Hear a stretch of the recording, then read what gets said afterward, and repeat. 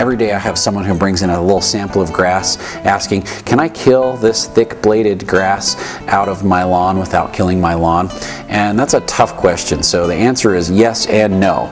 Uh, that thick bladed grass that we're seeing right now is a pasture grass. Usually it's tall fescue, could be crested wheat, could be smooth brome. There's a lot of different pasture grasses out there and we've all built our homes in an old pasture. And so it's just naturally present out there very difficult to control that grass without killing the rest of the grass.